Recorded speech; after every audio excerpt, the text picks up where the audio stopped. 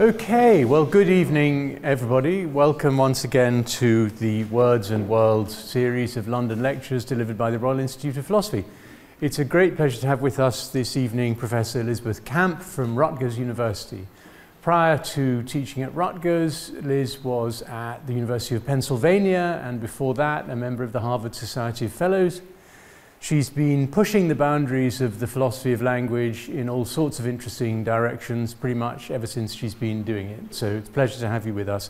Her paper tonight will be entitled Stories and Selves. Liz. All right. Thank you. Thank you for coming. Thank you for having me. It's a great honor and, you know, I have a bit of trepidation. So today I'd like to talk to you about stories and selves. I guess I'm telling you a story about stories uh, and I guess that, you know, it'll be a, a tale of um, uh, a, love story gone awry, but I don't think uh, it is a tragedy. So uh, hopefully, you know, bear with me through to the end. Okay, so uh, I think it's a, you know, a truth universally, universally acknowledged that people love to tell stories. We love to tell stories. We love to consume stories. Uh, there's a sort of, uh, you know, John Niles has a book called Homo narrans, right? It's better to characterize us as creatures of story than as creatures of knowledge. That is the thing that is our like differential, you know, essential characteristic.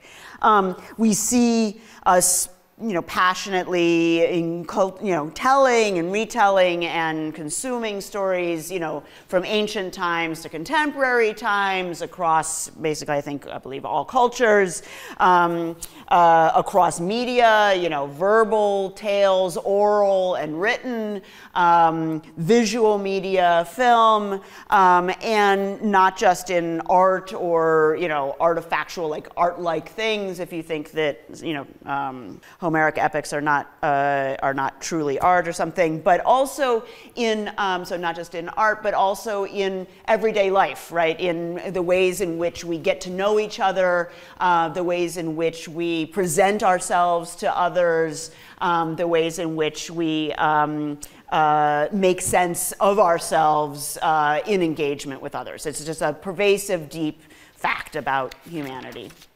Um, and so then the question is, well, why, right? What are we doing? Why are we so story focused? Why do we tell stories so much? Why is this such a passionate thing for us?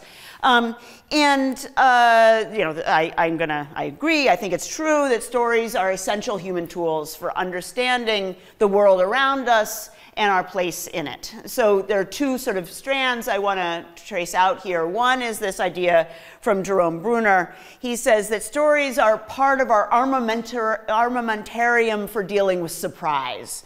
So he says narrative is a recounting of human plans gone off track, expectations gone awry.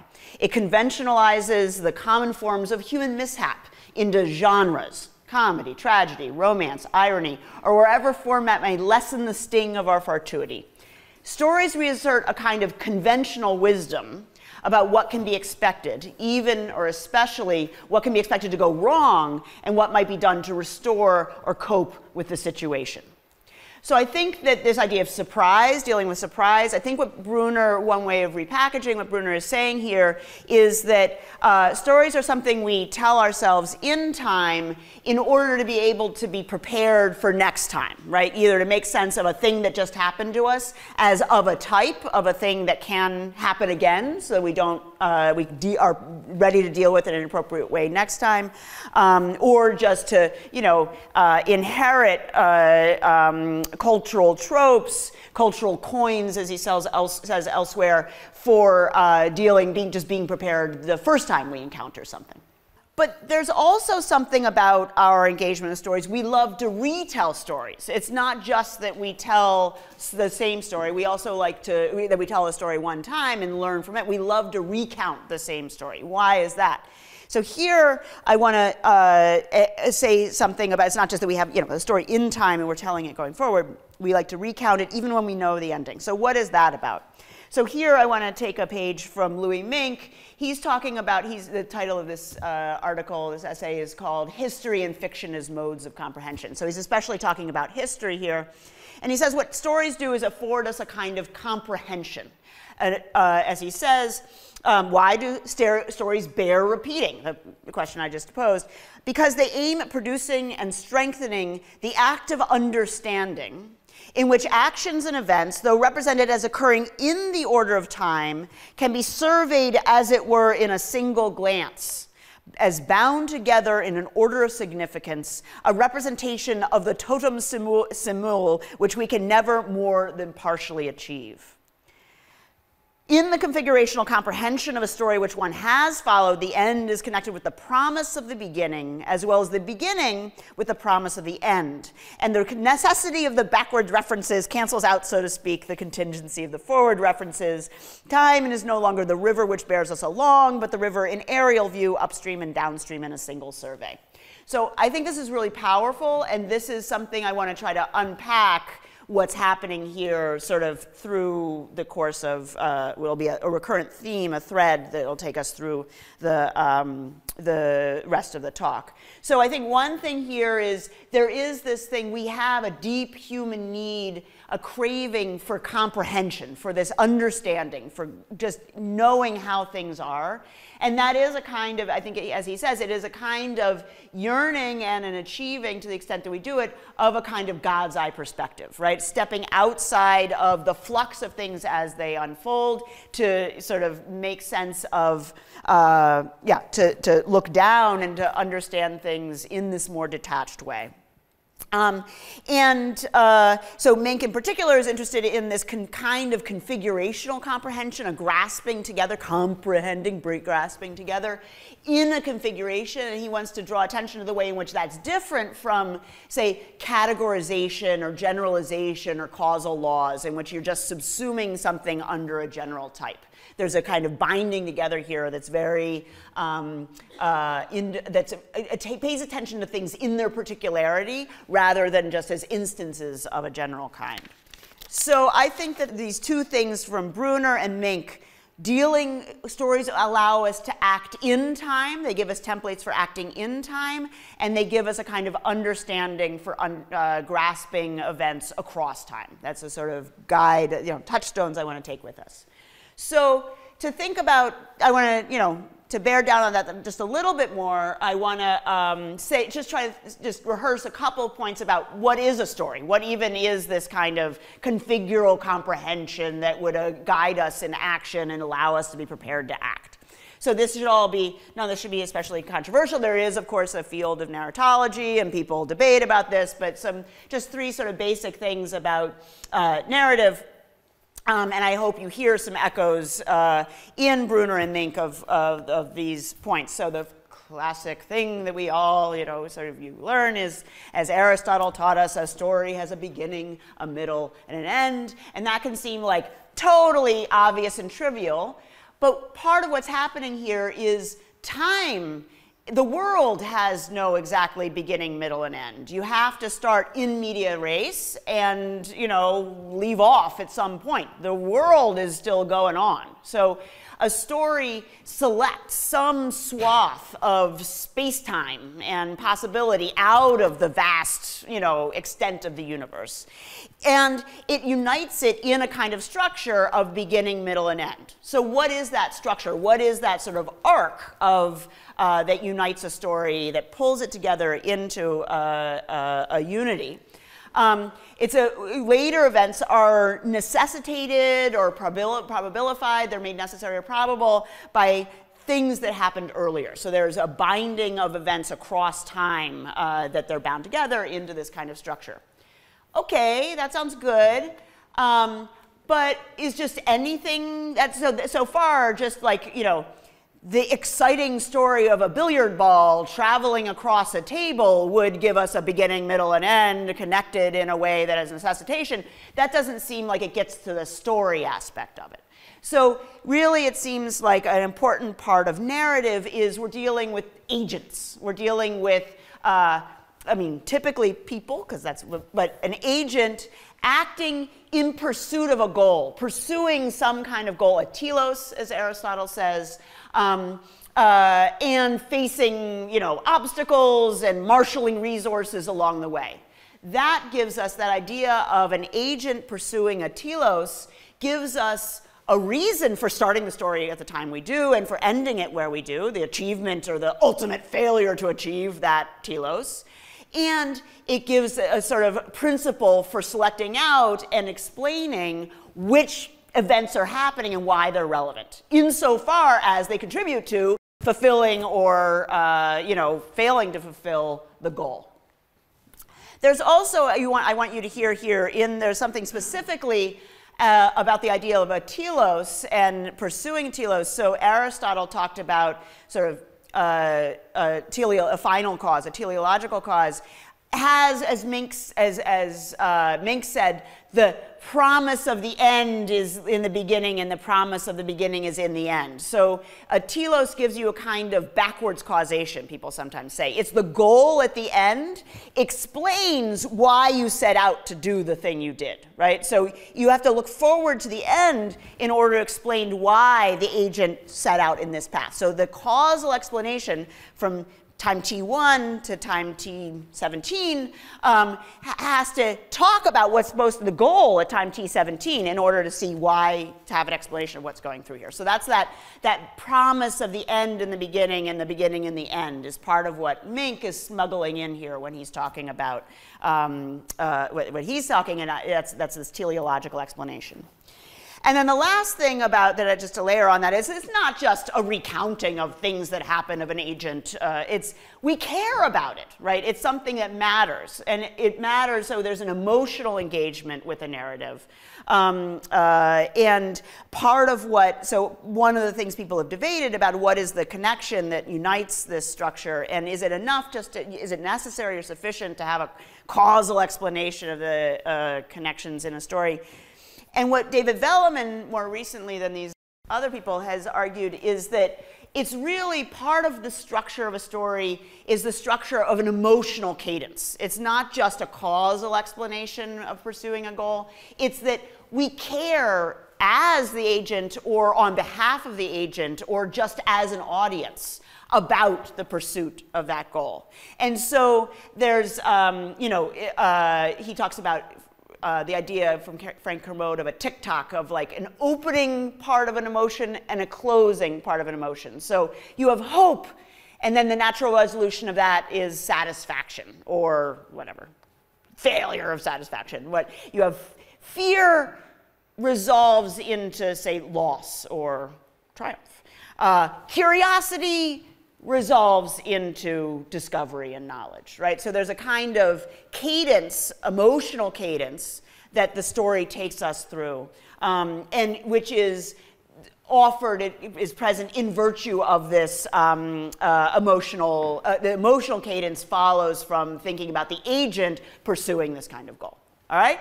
So I take it that this like three layers of uh, meaning that are coming, a beginning, middle, and end of an agent pursuing a goal and the emotions that attend upon that. That's the, the core of narrative structure, okay? And that's what we're deploying, what we're using when we use stories, when we tell stories to make sense of the world around us and our place in it, okay?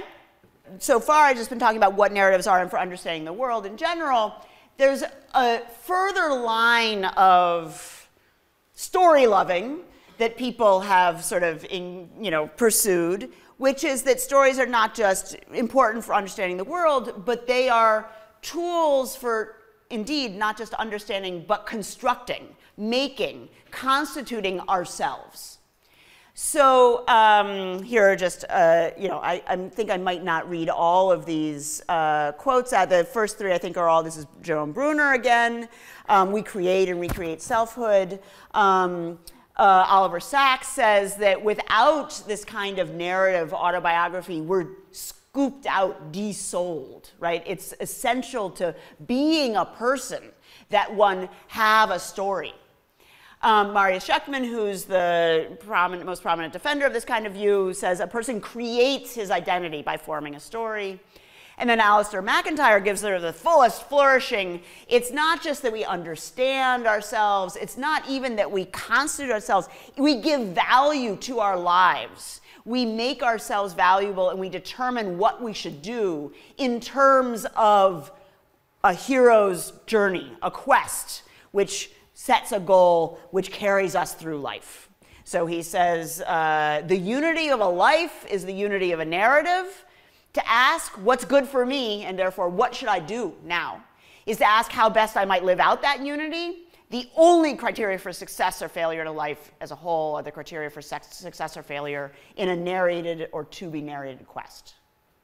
So I hope at this point that you feel, I don't know, uneasy I want you to both feel that there's something really right. We do use stories. We do use stories in order, indeed, in order to understand, understand ourselves and to guide ourselves in making ourselves. But there, there should be something, I mean, this is, this is quite strong, right? And um, uh, this idea of the value of selfhood is, um, contingent on living that a life that brings a quest to fruition. That seems okay. So I want to worry about that now. Um, I found it particularly cute that uh, the abbreviation. So um, I don't even have to say it. Um, so there's something really promising, something really right about what um, the narrative conception folks are saying. Um, but there's also something I think really insidious, both. Mm, both theoretically, in terms of a theoretical account, and in terms of its impact on our lives. And that's, it's really that latter thing that I want to draw attention to. Um, but let me just pause first with this sort of theoretical problem. So as Kierkegaard said, um, uh, uh, life must be understood backwards but lived forwards. So we are living our lives at a time. And as Mink said, a story is structured in terms of the promise of the end right? And so you're always being, the story is always being toward the end, and the end defines what the meanings of the events are in the interim leading up to that end. And so there is no definition, there is no meaning, there is no identity for things as they un unfold until and in virtue of the end that is ultimately achieved or not achieved. Um, so Peter Brooks says, uh, he's a literary critic, um, he says, we read in anticipation of retrospection, right? This is again this sort of teleological structure. We're being toward the end as we're here at this moment of T, what did I say, 17? T6, we are, we've come some way and we're being toward that end, but we're not yet there. And uh, so a consequence of that is, as he says, all narrative may be in essence obituary, in that the retrospective knowledge it seeks, understanding the totality in light of the relations between the beginning and the end, that's only available with the end, right? And uh, so the retrospective knowledge that it seeks, that narrative seeks, stands on the far side of the end, in human terms, on the far side of death. And the problem with this is that so we don't actually have understanding uh, until we achieve that end. And if you have this constitutive view, you don't even have meaning and you don't even have value until that end and in virtue of that end. Um, and the really sort of and that seems kind of unrealistic. If the only criteria for success and failure in a life are the achievement of a quest, uh, then a lot hangs on the achieving of that quest, right? And as Ben Wheelis says, um, that big, vague thing, that redemptive fulfillment is an illusion. A symphony has a climax, a poem builds to a burst of meaning. You might add here, a novel does. But we are unfinished business. No coming together of strands. The game is called because of darkness.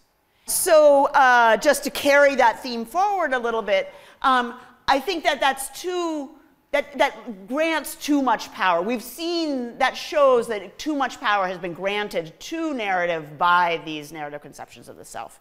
I just, I submit to you that there are admirable lives and admirable selves that don't conform to the hero's journey. Um, there are, uh, so in particular, people with, contrary to what Oliver Sacks says, there are people with autism and with amnesia, people who do not tell stories of this kind, who not just like have a self, because remember, this is supposed to constitute, this is supposed to make you have a self. Um, they're not desouled in this way. They, not just that they don't have, they do have selves, but they have admirable selves, selves that are valuable, selves that um, are distinctive and interesting, and, uh, but in the, even in the absence of a kind of narrative structure.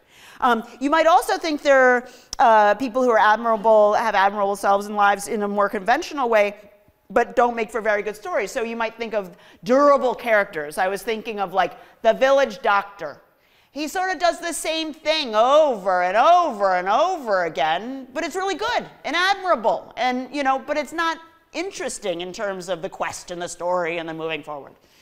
Um, the other consequence is like, you gotta die at just the right time, you know? Like, if you fulfill the quest and then you keep on lingering on, like, that's, you know, that's a bad life now and a bad self because it didn't make for a good story.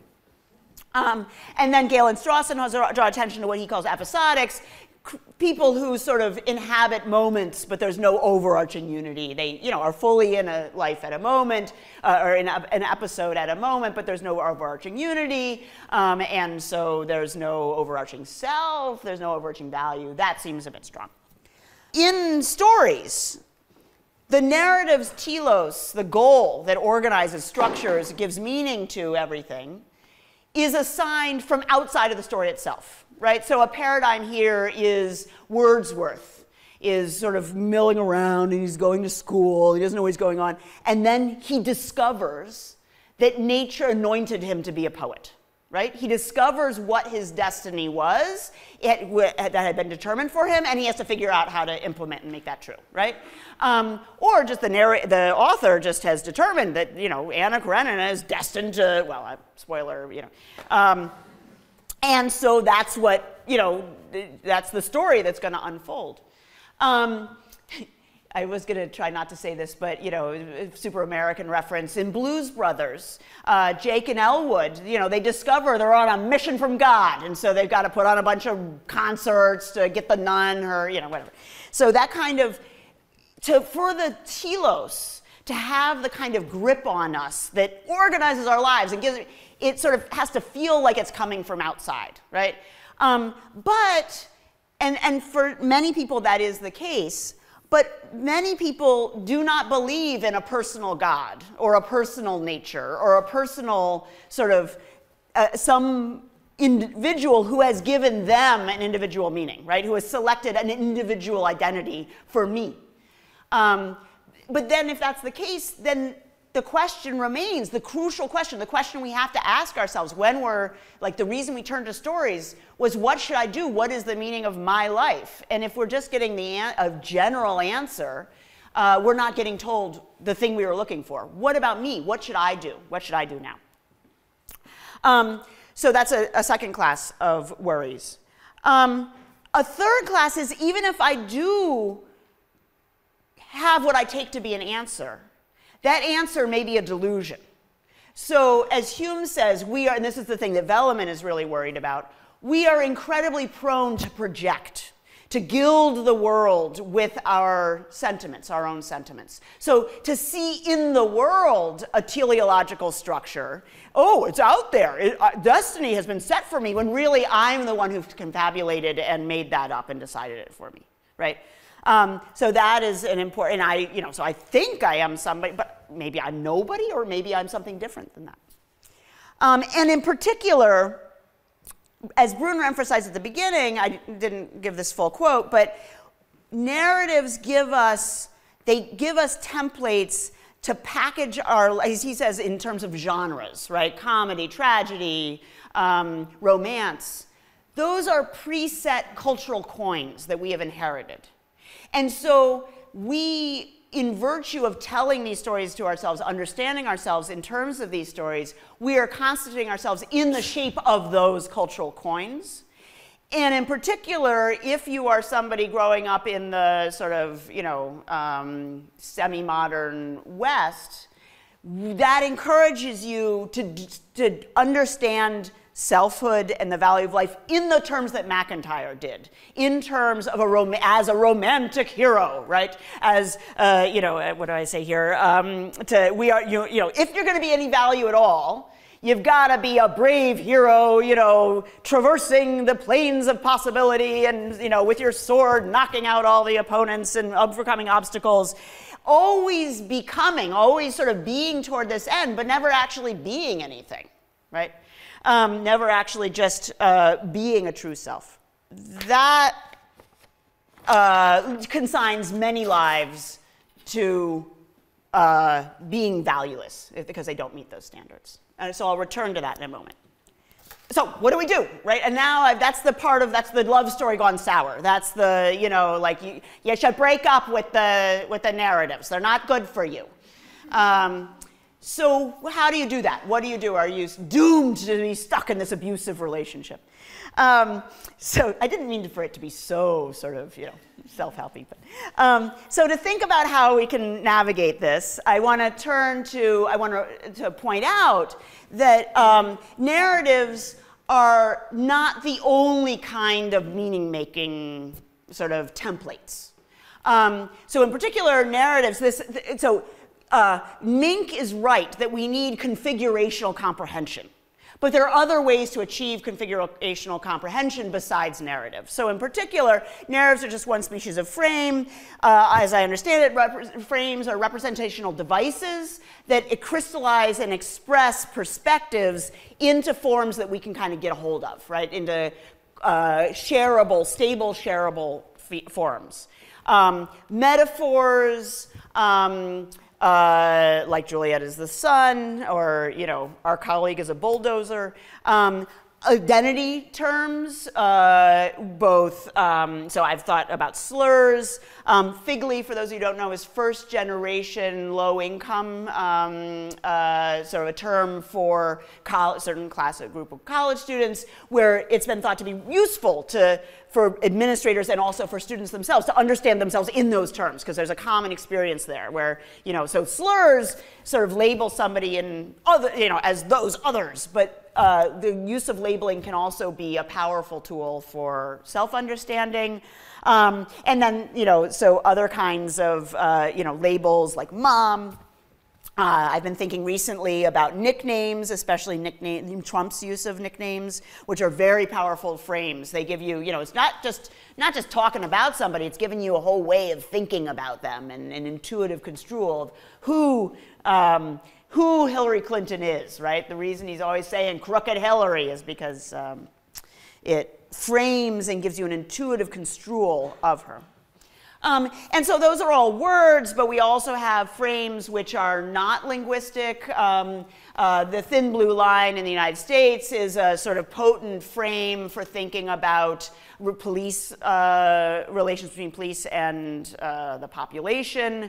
The police stand between, or the thin blue line holding chaos from order. We also have frames which are those are all sort of most of, many of those that I just mentioned are sort of political and involve uh, sort of emotional reactions. We also use frames in more abstract contexts. So the mind, minds are computers. I take it as a frame for uh, has been an extremely powerful powerful and productive frame. Um, I think a metaphor, many people think not a metaphor, for understanding uh, you know, uh, the mind in the 20th century. So we have lots of kind of frames. These are some things that are really powerful. They're very useful. So I said that what frames do is they crystallize and express perspectives. What are perspectives? Well, I could spend a long time telling you about that basically very quickly what perspectives do are their intuitive dispositions to interpret the world open-ended ways like as you take in the world to make sense of it in certain kinds of ways to create configural configurational comprehension as Mink says so what perspectives do is they parse the world into certain in terms that make sense and matter to us. So Thomas Nagel famously talked about what it's like to be a bat. And so the bat is parsing the world in terms of like opportunities to fly through windows and ways to, you know, get bugs. And so that way of parsing the world, what matters to the bat, the terms in which the bat meets the world, are partly a function of their sensory apparatus, but also a matter of what they care about and what they're motivated to do, right? So they parse, and Laurie Paul has talked about uh, transformational experiences and the way you can't understand uh, there's a way in which you can't understand something on the uh, for uh, unless you've had a transformational experience and she imagines trying to understand what it would be like to be a vampire and your friends tell you it's great but like you know um, uh, should you do it? Should you take the you know become a vampire? And so to the vampire like you know necks are calling out for you know being bitten. And so there's a different set of priorities a different set of goals a different set of categories that are showing up intuitively in your thinking if you've got the vampire perspective. Um, so uh, so uh, perspectives parse, select out features in the world as mattering in terms that matter to the agent. Um, they make some information more salient, more like accessible to me. They hide other kinds of information. And finally, as Mink says, they configure, they, they, they uh, gestalt this complex body of uh, selected features into a coherent whole, right? So with armed with a perspective, I have an intuitive ability to meet the world in terms that matter to me, make sense of it, synthesize it into something that makes sense, and respond in commensurate terms.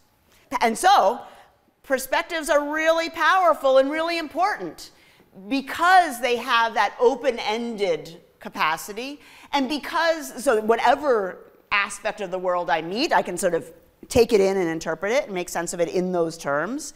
Um, and because they're intuitive, so they're not sort of effortful rules that I have to apply in a step-by-step fashion. They're something that sort of automatically, effortlessly I engage. Um, and, uh, but that means they require actual implementation in my actual cognitive processes. And this is something that's partly, but not entirely, under my voluntary control. So for this, I like to use the old lady, young lady figure. So usually in a room this size, um, you know, there will be like maybe 10 people or so who can only see the figure one way and not the other. Um, I'm thinking these days more people have a hard time seeing the young lady. I'm not really sure why that is. Um, so typically, you know, you believe. Okay, can I ask? Okay, so how many people can see it both ways? How many people can only see it as an old lady? Great, so that was like five. How many people can only see it as a young lady? Woo! So this is a younger this audience skews young, so that was like 15 or something. So basically, like a third of the audience can only see it one way. Um, and so uh, you said the people that was you could only see it as a young lady? That was okay. So and so typically so you believe that you can see it that it can be seen as an old lady right? You believe that other people can do it. Um, but that's not enough to make it happen. You can try but that's not enough to make it happen. I'm going to give you some pieces of information that'll probably make it happen but no one piece of information is guaranteed. So uh, if you see the uh, oh, take the young lady's um, necklace that's the old lady's mouth See, and then I love that sound, like, oh, you know. Um, take the uh, young lady's like really cute little nose. That's the a wart on the old lady's nose, right? So when it locks, and I'm not going to go further. We can do therapy on the remaining people later, but. Um, so when it locks in, there's a phenomenology and a functionality of the gestalt locking. And you can do stuff that you couldn't do before, and you have an ability to navigate it. And if the figure were to change in certain kinds of ways, the elements have a different significance. And if it were to change in certain ways, you would be able to handle that. But in other ways, not, right? So the structure has changed in a way that changes the meaning of the, the parts, and because they're being synthesized together in a different kind of way. Um, so that's something that's really powerful and interesting in this way in which it's partly but not entirely under voluntary control. But that also, that very, that intuitive, only partly voluntary feature also makes perspectives dangerous. Perspectives in general, dangerous in some of the ways we've seen that narratives, we've already seen that narratives are dangerous. So they're self perpetuating and self justifying in ways that risk leading us into myopia and complacency. So myopia, we're, some, we're, we're blinkered, we're blinded. The very intuitiveness of perspectives, which is what allows us to seamlessly go around in the world, selecting things in terms that matter to us, also means that we don't see what we don't see. We don't see what doesn't matter to us. We're only able to see the things that matter to us because that's what we're focusing on. But that means that we're not, not even noticing what we're not even noticing. Um, uh, uh, and we feel, because we don't even know, we don't even see that we're missing anything, we feel complacent about it. We're like, yeah, I'm getting it all. I make sense of everything I see. We don't feel unsettled by our lack of knowledge about the things that we don't see. We also uh, a perspective allows, enables us, it gives us a way to extrapolate patterns uh, and to impute explanations, in particular causal explanations, to various things that we see in the world. Um, and that's got to go beyond our evidence. As Hume says, all we encounter are con conjunctions of this thing has happened and then this thing happened. And then we decide that it's like a general conjunction and then we project, oh, there's a causal explanation for that, and maybe it's written like deep into nature, right? So we have this desire, a common case now is, you know, we notice three women who are caring and competent, and we're like, oh, women are caring and competent, all of them except for the couple exceptions, but really women are disposed to be caring and competent. There must be some deep causal explanation for it. Oh, I know. Women have a nature which leads them to be caring and competent, and that's why they should be parents and not, you know, hold like whatever high administrative positions or whatever. So that's an instance of this kind of gilding or confabulating, projecting onto the world explanations that come from our intuitive patterns of thought.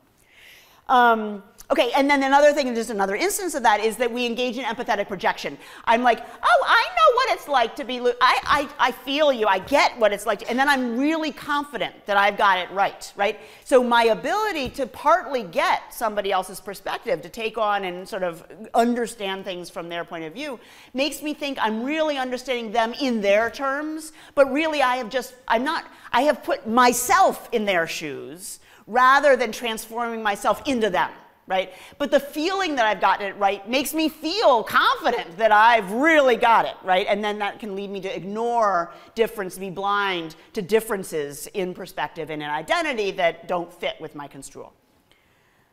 Okay, so so far I've just been talking about the risks of perspectives. If you add to that these frames, these like tangible touchstones, these sort of culture, that makes it sort of that augments those risks because what frames do, they're both good, both the risks and the benefits, the benefits and the risks. So frames are really useful because I can just give you a really short little phrase. I can give you a word, I can give you a metaphor, I can fly a flag, and I can communicate an incredibly rich body of implicit assumptions and feelings and responses.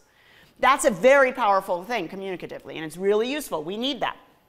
Um, but by that same token, because they have this, um, this sort of part, only partly voluntary feature, that means that my offering you a perspective can lure you into a perspective against your will. And that's, I think, part of what's happening when like slurs are thrown at us. It's also part of what happens, I think, what Trump is doing with his use of nicknames. He knows that there are people who aren't going to like or going to want to resist that way of thinking about um, Hillary Clinton or Elizabeth Warren, but he's molding them too. He's not just speaking to his choir, he's also molding even the people who want to resist into the patterns of thinking that he uh, prefers. So that's communicative risks and benefits of frames. And then cognitively, um, you know, frames are useful because they like because they schematize and simplify perspectives. They give us like really simpler heuristics for navigating through the world, um, for for guiding our intuitive uh, interpretation. But for that very reason, they it all might feel good and it might feel like it all makes sense but that very schematization, that very uh, may itself be a kind of seductively simplistic conspiracy theory. So one thing that's characteristic of people with a conspiracy theory is like, I, I didn't used to believe the earth was flat, and then all of a sudden it, all the pieces fell into place, like QAnon, right? Like it all made sense to me. A simple explanation made it all, and then people say afterwards, it was seductive. It made me feel like I, I, had a lock on things. It made me feel like I understood, but it, things aren't that simple, right? It, um, okay. And because frames have that comforting ability to like be, you know, you just, you want to know what you should do in any circumstance? Ask yourself, what would Jesus do?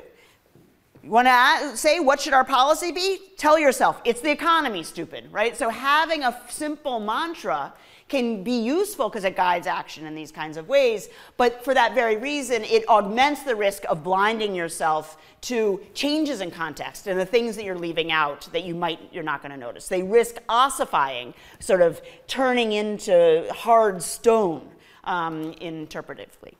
So now turning back, that was all about the risks and benefits of narratives, of, of uh, perspectives in general, and frames more particularly. Now let's go back to specifically the risks and benefits of narratives in particular. So as we saw, we need narratives to guide action and make our lives meaningful by giving us these kind of simple templates, right? By telling us, allowing, telling us what we should be paying attention to, what matters in our lives, therefore what we should do now.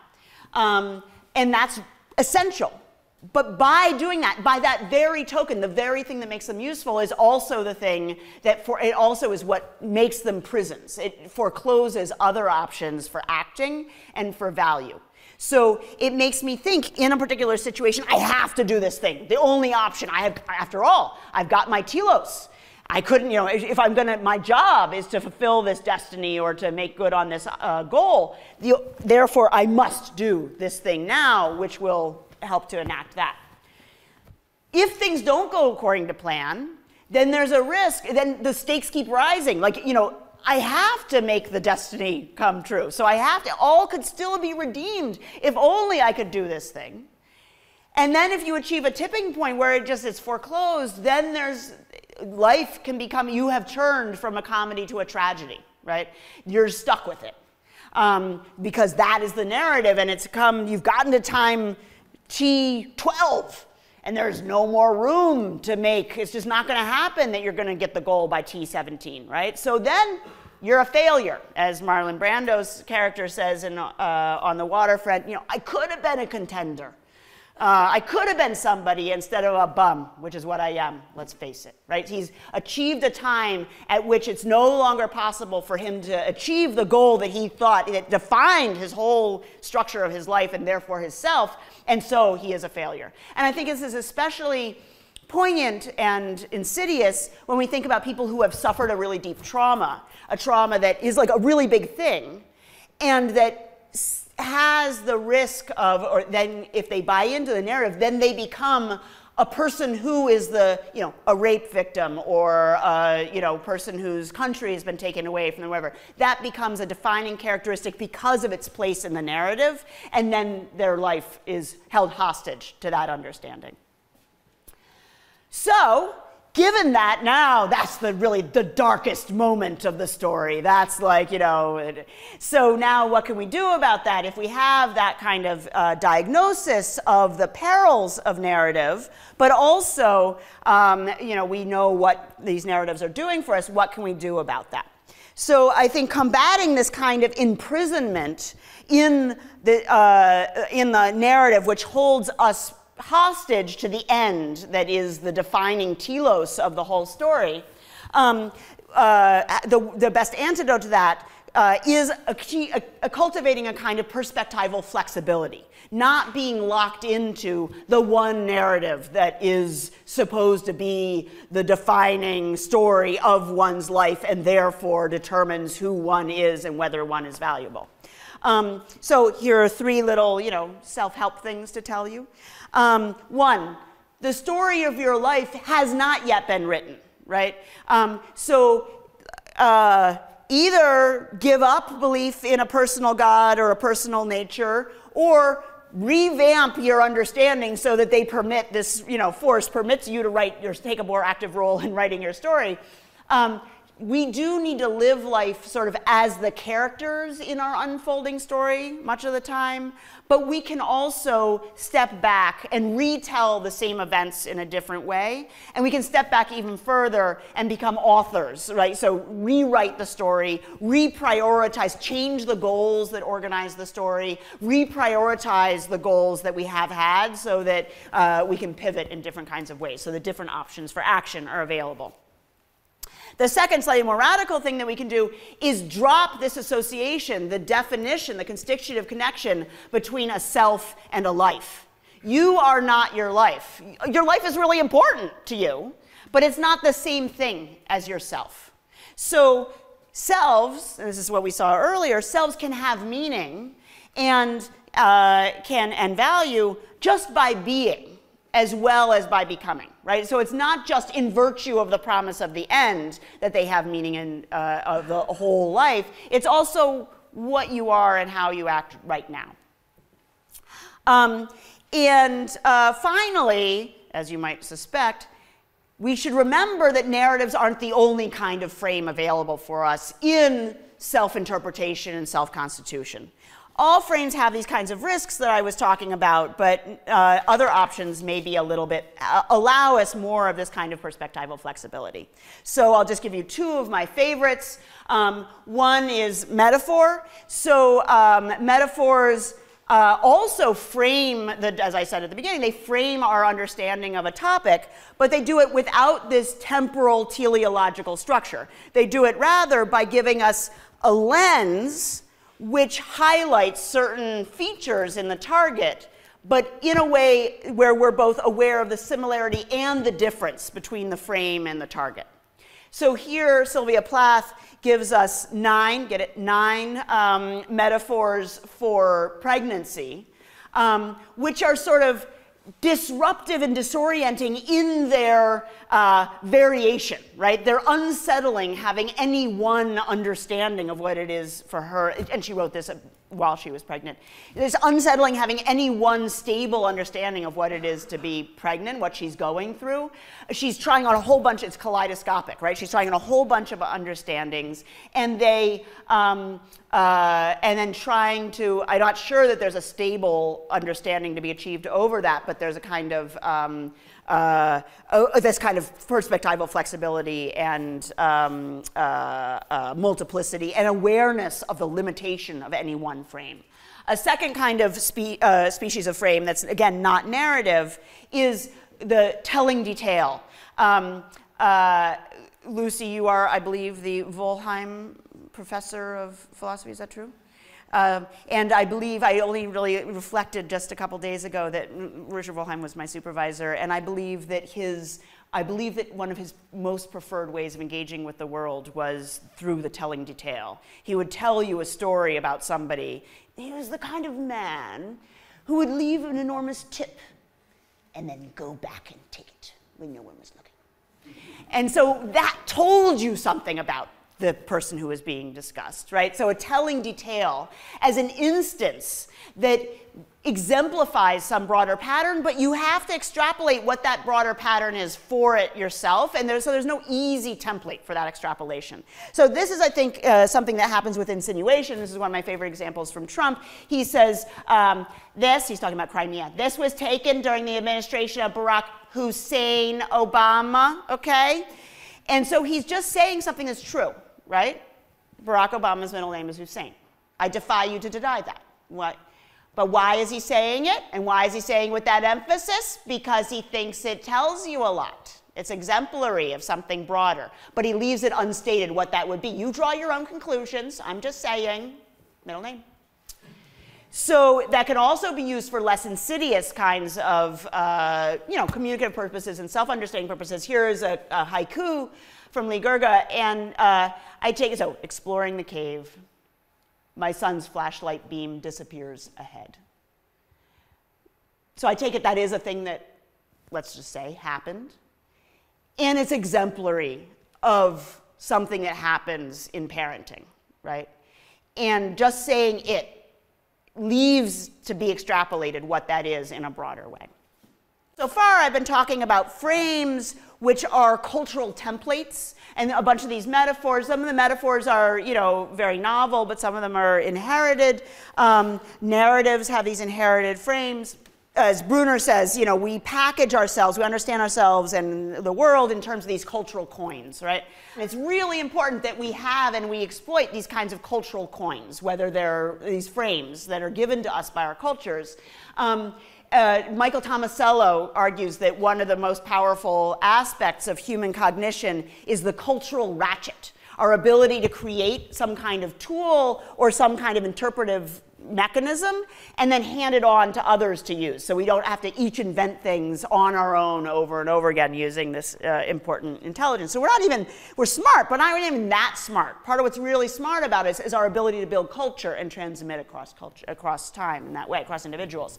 Um, so templates, cultural templates are super important. We see that happening with some of these other kinds of frames that are not necessarily narrative frames, but they're especially on display with narrative frames.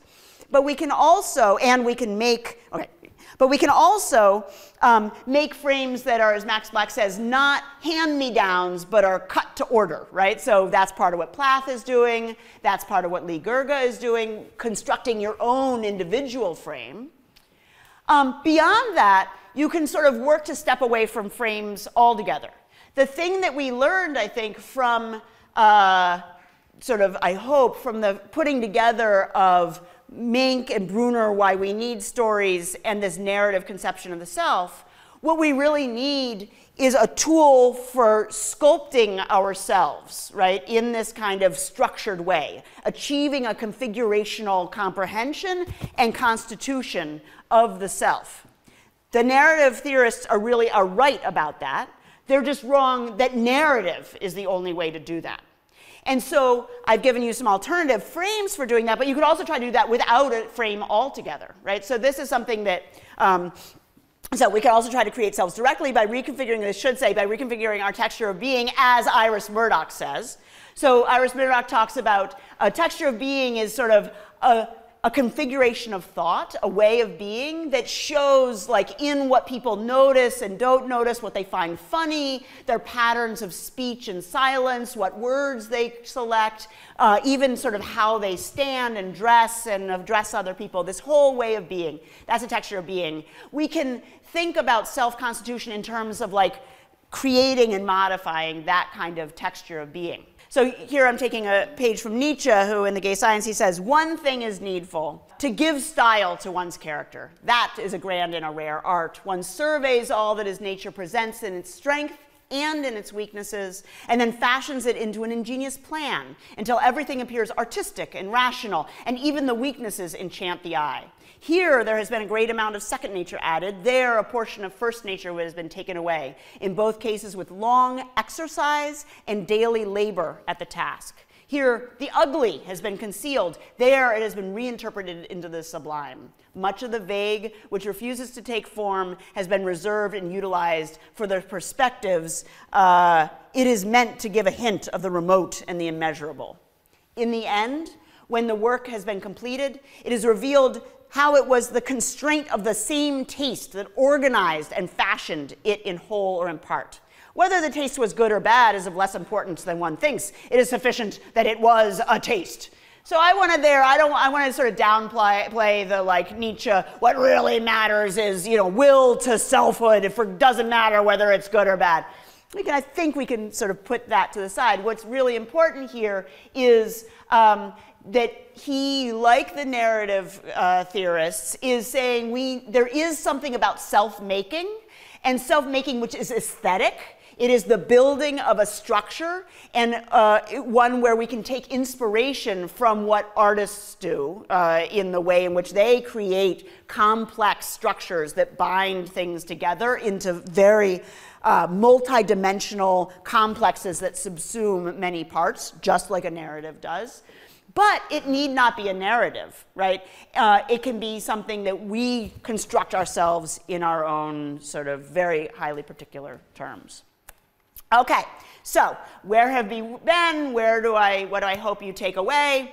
Um, so I think we do need stories. We need stories to guide action and to comprehend our lives. Bruner and Mink are, you know, right about that. But stories have this specifically temporal and teleological structure. And that structure, that specific kind of structure, holds uh, selves hostage to the ends. So if you're thinking of selfhood in terms of narratives, then you're holding hostage to the end, um, the, the lives, the end of the lives of, the, of those selves. Other kinds of frames exist and also allow us to achieve perspectives, right? To parse, select, and synthesize the traits that we have and the events that happen to us um, into, into, intuitive, holistic whole structures, just like narratives do. Um, but some of them, these alternative kinds of species of frame, um, may offer more kind of more of this interpretive flexibility, um, and thereby have a better run at combating the kind of myopia and complacency and ossification that is a risk for all frames. What's really needful is that we achieve agency with respect to our given traits in history, that we not just sort of like have a pile of features and things happening to us, but that we make that into a self in some way.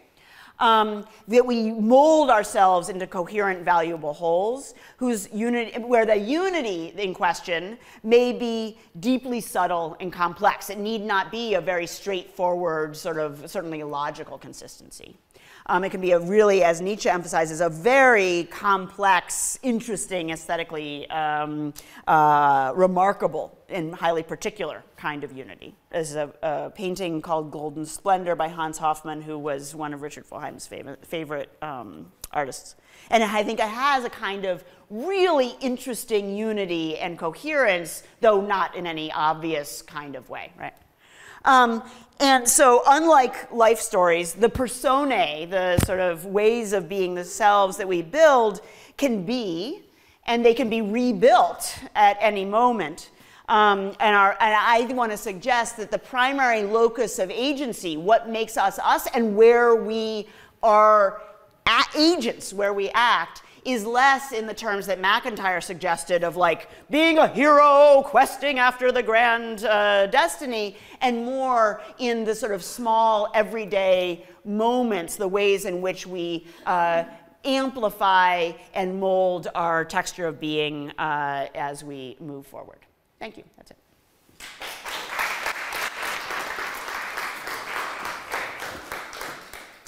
Thank you. Over to you for questions. Yeah, I was wondering about uh, when you think about the idea of like individuation. It's also how I understand the idea of the hero's journey, like becoming a self. So can we understand hero's journey more of this journey of, of actually becoming ourselves rather than achieving some ultimate quest or end? So one might think that the goal is to become a self.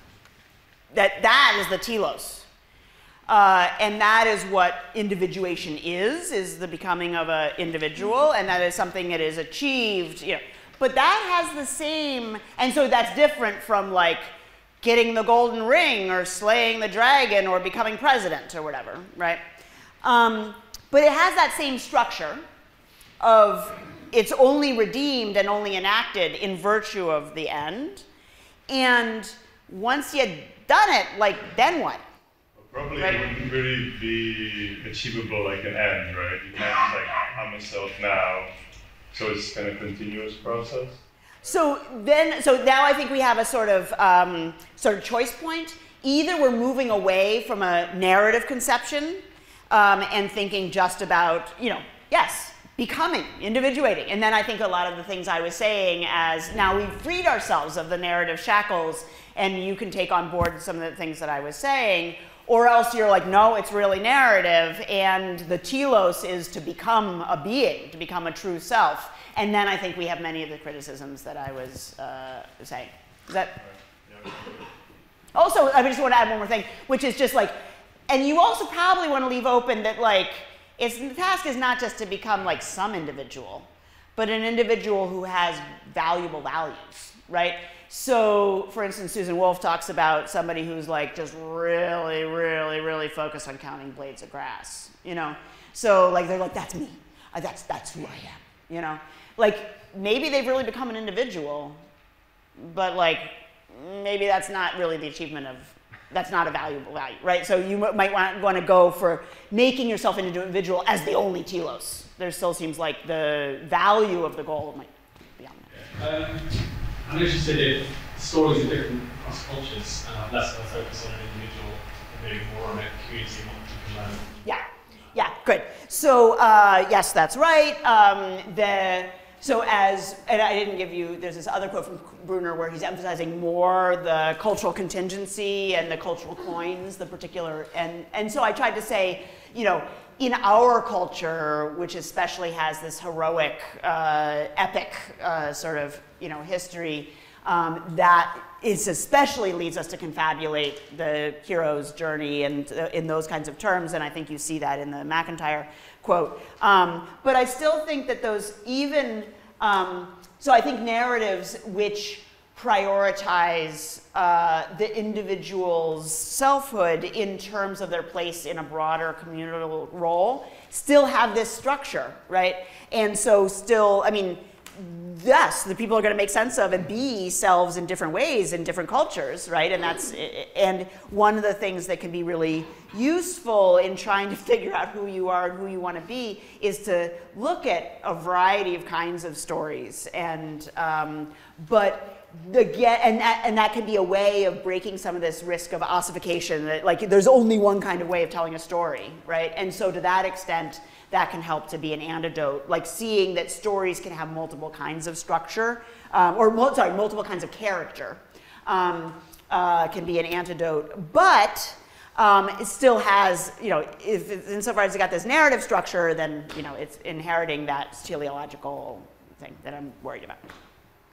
Okay, right at the back, Nick. So I find that like a really perspective um, a good example of perspective in that there's this thing that's constraining us that we don't even realize is there until you take yeah. So that, that seemed a very powerful way of capturing the role of narrative in constructing selves. But I was wondering why it's the shift away from narrative that solves the problem, gets rid of the risk.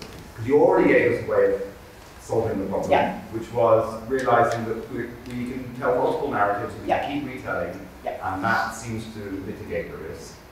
Um, on the other hand, other frames also have a risk. I mean, even the sexual one, the, yeah. know, coming out of my style, it might yeah. suddenly something happens so that I can no longer feed things into this yeah. kind of style. Yeah. So it seems like the, the other frames and the non-framing run a similar like temporal profile risk. Yeah. So I wonder why ah. moving away from narrative to other frames or non-framing is supposed to mitigate the Great. Okay. So right. So I didn't want to. I mean, I, right. I tried to offer like a three-part, you know, like a, res, a, a range of recipe of techniques. One was like handle narratives themselves in different kinds of ways. Second was use fra- other kinds of frames, and the third is try not to use frames, you know, at all.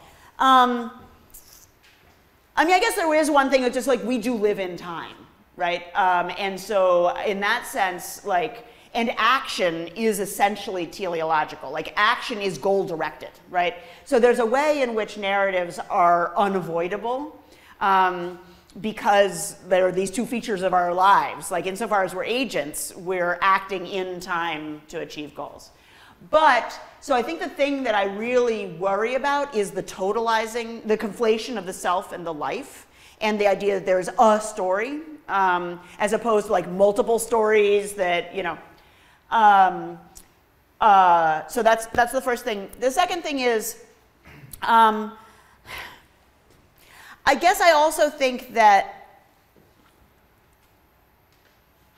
maybe I think that uh, that this goes there's it, the the very indulgence of like focusing just on narrative and not understanding there's just one genus or just one species in the genus um, makes us all about being agents. And we are agents, but we're also just, and, so in that sense, I, I, I do want to have this like, we're not just becoming, we're being. You know, like just there's something about just like, you know, do, just being here now as the thing you are and not acting forward. That's something I think we should do more to pay attention to. So that's not really about temporal risk, that's about mischaracterizing the value of life, Well, but there's also a way in which, um, but I think there is something about, it's not just like, I just, I don't want to, I don't want to, I guess when people talk about being as opposed to becoming, there's a way in which it's like dissolving the boundaries of the self and just moving into a kind of like just be here now. And I want to retain a sense of like me in my individuality you know, uh, being here now without like being toward going forward. Um, so that's the, yeah, I'll leave it there. Okay, uh, Murray. Great, thank you. Thanks for a terrific talk, Liz. Um, I guess I wanted to press a bit further on part three.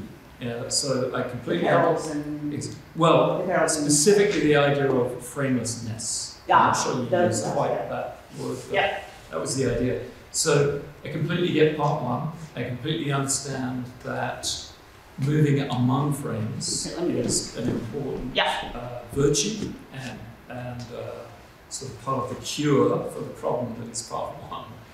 Um, I guess one way of putting the question would be when you talk about texture of being, is it really just another ki- uh, a very fine grain kind Ah. of frame? Good. Is it really stepping outside Yeah. The frame altogether? Yeah. uh, framing altogether? Yeah. Um, and I guess a further question then would be if we're really stepping outside of a frame authentically, is well, I guess you were hinting at this in terms of whether you just characterize conventional ways of understanding being as distinct from becoming. Yeah. In other words, it's like the self is dissolved, the self, at least in its kind of traditional Western conception, Right. is dissolved, dissolving into kind of impulses, fragments, and maybe there's a place for that. But I'm not sure that that's quite what That's not what I wanted. of being Yeah, that's not what- like. exactly. It felt more like I want it to be this a like- fine-grained, Yes. highly specific, Yeah. non-generic Yeah. frame rather than a Yeah. Great. So I think that there is a bit of a like a annoying technical answer to your question, which is, um, as I have defined the term frame, it is a representational device, the kind of thing that can be like, you know, could be an external sentence or a flag or a whatever. It's a representational device that expresses a perspective, right? And so um, it is, and, and not like we can, so we can have, I'm not saying that we would step outside of perspectives altogether, right? I'm saying you can like achieve a, and I think that we do this like, um, uh, I might have my own, just my, my poor son who's 14 is working on his own distinctive political perspective and he doesn't have a particular frame for it, right? Um, there's one of the reasons we make art is to try to create frames to express perspectives that are already sort of, you know, present, they're inchoate, but whatever, right? So, uh, what I mean by a frameless self-construction is without a kind of that kind of touchstone guiding external thing like a mantra that then provides a schema for doing the interpretation.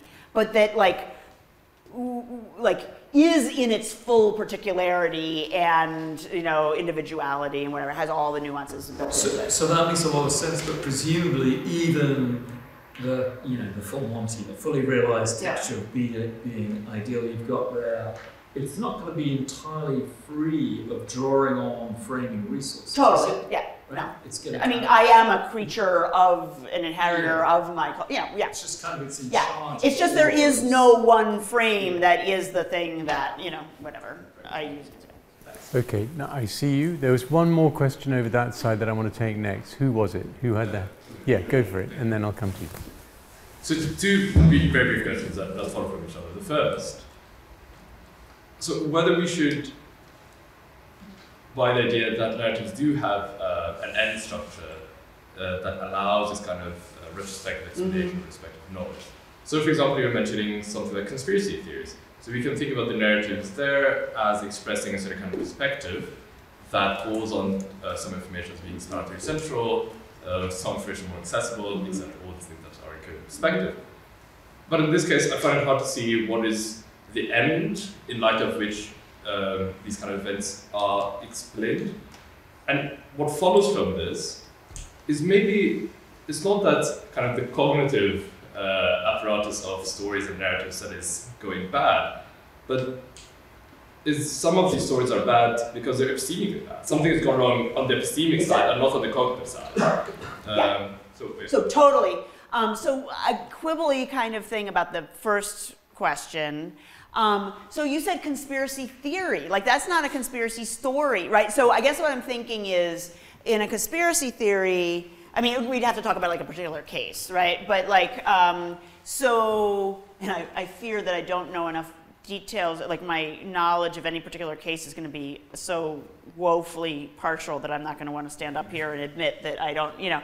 But so uh, I take it like a certain kind of there's a either there's a certain like an overarching conspiracy theory about like the shadowy dark forces that are regulating doing all this behind the scenes and then that's gonna that's like a standing set of assumptions about what's really going on behind the scenes and then that's gonna generate narratives for explaining particular sequence of those events which will have like a certain that will, have narrative structure um, so either, I'm, I'm going to say either it has narrative structure or it's just a conspiracy theory, which is like a background theory, which doesn't have a teleological structure. I'm totally with you, but it's not, not for that reason, not a narrative, right? So, uh, okay, so that's, but, and maybe we can fight it. I mean, I, you know, I don't want to be that, I do think there's something about um, narrative structure. Like I, you know, so there's there's narratives. There's also like the telling of the story, which is different from the actual narrative structure, right? So we reveal things in telling a story out of. I mean, so there's a lot of complexity there. I think that the sketch I gave about what a narrative is is gets at something, and we should hold on to that even where there's complexities, but I don't really want to fight about like the details of what exactly a narrative is. Okay, so but but we could have that conversation more, and that could be exciting. Um, okay, the second thing is yes, so it's super important. Um, so I focus on the communicative and the cognitive like risks and benefits. Um, I take it that the, and, and, I was talking about the cognitive benefits in terms of, because I was talking about this self-constitution thing, about like their impact on like how we interpret ourselves. And it might be that there's less of a fact of the matter there about, because I'm making myself as I'm, but um, one, I mean, but we use perspectives to understand the world. I think that we use them in, you know, politics, religion, science, whatever, right? And so um, in, even in the case of self, the self, understanding the self, but also more obviously these other cases, like there's epistemic assessment to be done. Um, and then there's a whole question, like, do you think that it reduces to just assessment of this in the standard terms about knowledge and propositions and reliable access to propositions, or is there some distinctive norms of uh, perspectival assessment, epistemic, and I do think there are such norms, and I'm like, you know, so if you want to like come join my team and we can, you know, um, you know, make that case, I would love that. But uh, so I'm definitely on board with the thought that there's epistemic uh, assessment here, which can be distinct from how cognitively useful or, you know, sort of, yeah, is. And especially because I, I gathered that she didn't want to say that the uh, evaluative, epistemic evaluative norms in these cases would be reduced to the kind of standard, familiar, evidentialist. Right, that would seem like a, right, that's, yeah. yeah. that seems like a narrow. Yeah, yeah. Okay, over to you. Uh, thank you, Professor. I, I find it very intriguing uh, and insightful about your like connecting narratives with the self-constructed the constructed thing. Uh, I'm curious about the you know, the implication of the popularity of the superhero narrative uh, structure. Yeah. You know, uh, I don't know whether it is kind of a reflection of the maybe a contradiction to our mundane life or mm. a reflection of the lack of value or mm. meaning because it kind of the mm. create of the super powerful ego -hmm. self uh, kind of encourage us to focus more on becoming rather than mm-hmm. being. So I feel like that's a, a really fascinating question. I don't know exactly what the the terrain is. It's something in the realm of like anthropological uh, uh, I don't know. There's some. I don't feel like I'm. I have the empirical knowledge or the exactly the skills to, you know, um, the theoretical skills to really grapple with that question. I feel like I helped to set it up, but now, you know, some other people should like help it. But I guess the one thing I would say is that. So I've been. I was emphasizing the like cultural contingency of these particular you know, templates, and I was emphasizing like the romantic, the modern romantic hero. Um, but the hero, the idea of the hero's journey and the idea of a hero, I mean, that's something we find across many, many um, myths and cultures, right? Not all, but many, right? So, like Gilgamesh is the story of a hero uh, who is like, you know, he's just like raging to be heroic. All he wants is to do big deeds. It doesn't matter what it is. He ends up like cutting down a whole damn forest because he just so he can do something big, you know? And my children are like that. Do you know what I mean? Like, uh, you know, my, my daughter, she's 10, and she was like, Mama, I haven't done anything big yet. I'm like, you're 10. It's fine, you know? You don't even have to be being toward doing something big. Just like enjoy, you know? Uh, my, son, my son said, like, um, he's 14. He said, um, oh, this is terrible, this is being recorded, and they're gonna be really mad at me, but um, he said, like, I don't care what it is. I don't care, like, I just want my name in stone, on a stone wall. like, like, eh, you know, it could be one footnote among, it just, it has to be in stone, you know? And uh, I was like, well, but what if you, like, saved a thousand acres? You were responsible for, like, a great deed that did something and, like, tipped the balance in, you know, global warming or whatever, but nobody knew. He was like, no, I want the name on the wall, you know?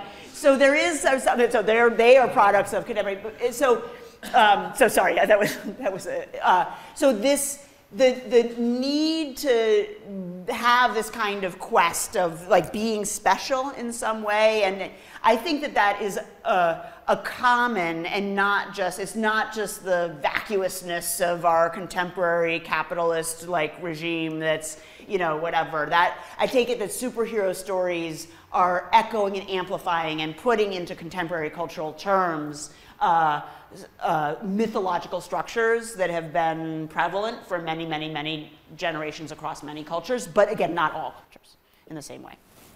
Yeah.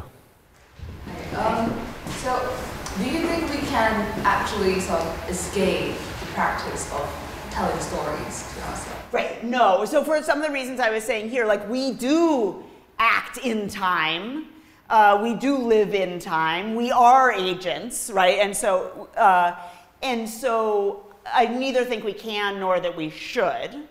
Um, the thing that I really worry about is the one totalizing story as the one value giver, right? So the idea that there is, there is, and that's in all, I'm just going to go back to it. Like you might think I've created a straw man at this point because it sounds so strong. But if you go back, I mean, that is what these guys are all saying, right? They're talking about a story, which is us. We are our narrative, and the value of the narrative is, you know, the, of the self is in that, given by that story, right? So it's not just that we understand ourselves by telling stories to ourselves and each other, which is what I think what Bruner means a lot of the time, but he says the stronger thing. It's not just that, so it's, it's, a, it's not just a claim about understanding, it's a claim about constitution. It's what makes us who we are, is the story. And it's not just a claim about stories, but a claim about the story, the one's life story, right? And that, I want you to see both like why you would get there, like why that strong thing seems like an outgrowth of the th things we really do need stories for, and also why it's too strong, right? So I, yeah, I want to celebrate like stories as things we tell to make sense of ourselves. It just shouldn't be the one story is the only way of making sense. Um, yeah, go ahead. Just to clarify your view, then, so are you suggesting that by you know, adopting these other frames, perhaps the metaphors and all these things, we are training ourselves to be better storytellers. Not necessarily. We might it might happen, but also we might be making meaning in other kinds of ways, right? So that's another. It's not like the because I think to say that would be to come back to to in, to retain an assumption that narrative is the meaning making, some the privileged meaning making like enterprise, and I don't want to say that. The, uh, one other thing I just wanted to say, and I tried to, you know, in the interest of time, edit this out, but I also think like we can use stories in a kind of metaphorical way, in a kind of double, uh, uh, this kind of twofold way. So Arthur Danto talks about uh, artworks becoming metaphors for life and life becoming transfigured in light of that. So I could understand my life in terms of Anna Karenina, for instance, right? Um, or I could tell a story about myself, which I know is not true, a just so story, right? Um, uh, it's as if, there's a poem by William Stafford, he says, you know, uh, a story that could be true, like you were an orphan and you were given away and at birth and somewhere your parents are looking for you. And you were on a street corner uh, and it's raining and you've lost the way. And somewhere you know and, and so when they whisper to you who are you really? you say maybe i'm a king right? So that's sorry about the mangling of the poem but like not even but uh, not even the poem but so there's a way in which he's telling a story but it's told like overtly as a myth, as something which is not true. And so it has a, that kind of doubleness, that kind of not fully gripping, you know what I mean? Not, not locking you in in that imprisoned way. Um, so I don't even want to hate on stories even to that degree, right? But it's not the only thing. It's the relation to it and that it's not the only way of making meaning. Yeah, right at the back. You mentioned a lot of um, famous pieces of literature and sort of the difference between telling stories and I guess writing stories. Yeah. Do you think stories change when we write them down and they become sort of permanent?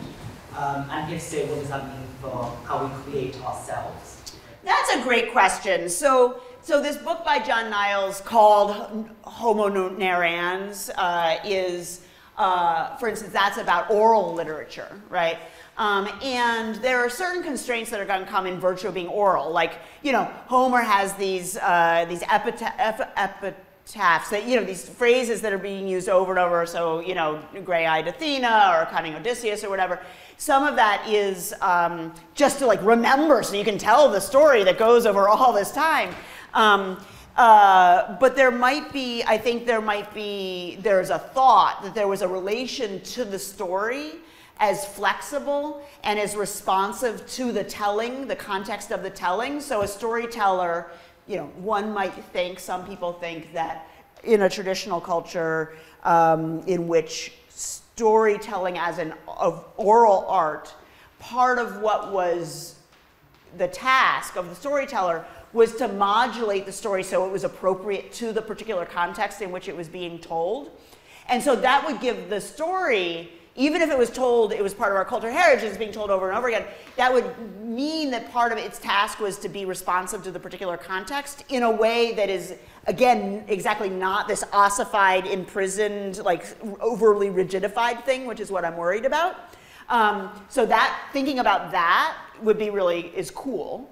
Um, uh, but at the same time, what we I want to emphasize that what we get from frames whether they're written down or not, is a kind of stability, a kind of thing like a touchstone you can take from context to context. And that's really important for them providing that function. They call us back to a stable mode of interpretation. And so that's also something we see in the oral tales, right? They have certain constraints that have to be met across all tellings. Um, so, and to that extent, they might also seem inevitable and, you know, whatever. So I think it's an interesting question to think more about. Yeah. To ask about your opinion on the importance of changing narrative structures. So, I mean, on the other hand, you can argue that I can subscribe to one specific narrative structure, and then I can express my own values and opinions within that specific narrative structure. So, for example, I could really like Harry Potter books, and I could, you know, really value Harry Potter. But then, you know, if my my change, can change my and value different.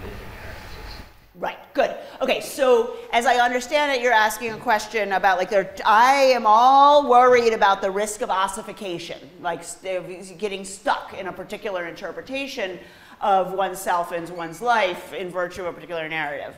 And I hear you as suggesting that there are two ways you could break that. One is by breaking that whole breaking with that whole narrative and the other is by shifting one's relationship within the like the narrative world or something. So and being like, you know what, I always thought that it was Hermione who was really important, but now I see that Ron's the one who holds it all together, and we should all, you know, whatever. And really, Ron is really he should be a Hufflepuff, and so like you know whatever. I've realized that.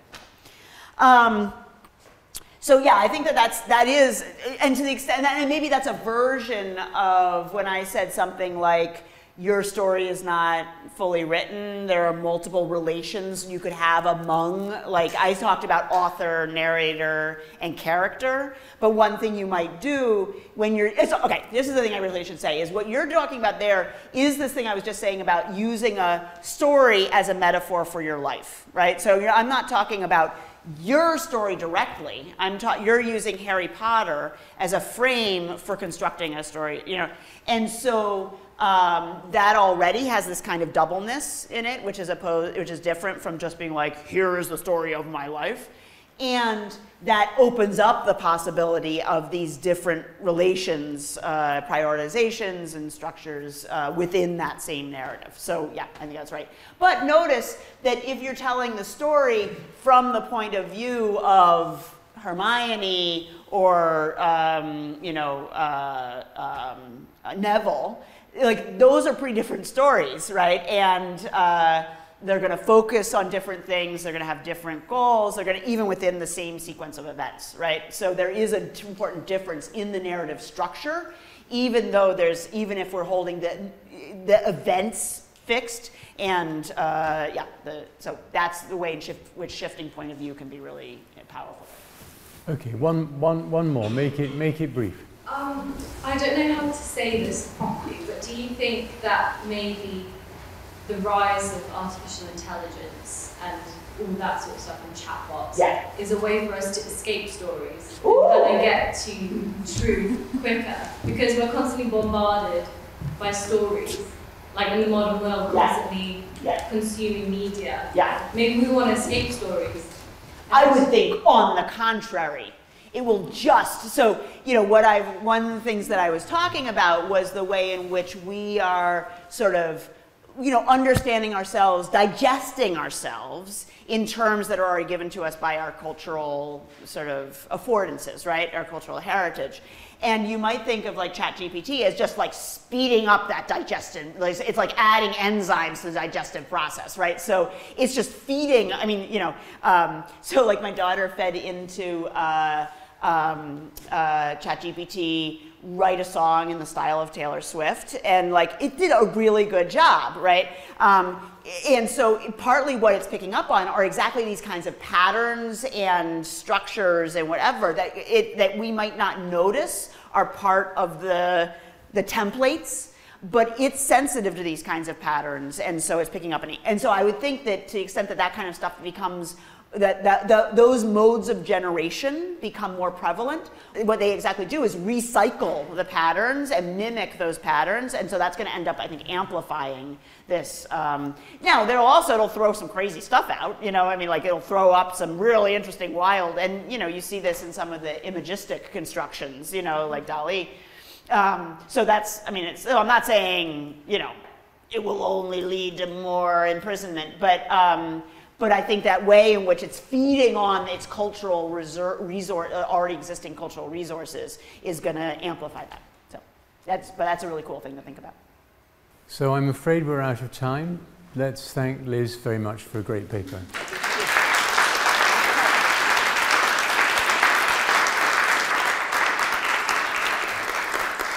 That was super fun. Thank you.